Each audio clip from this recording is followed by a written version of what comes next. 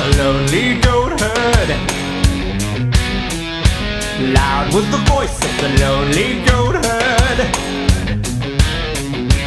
Folks in a town that was quite remote heard. Lusty and clear from the goat herd's throat heard. A prince on the bridge of a castle moat heard.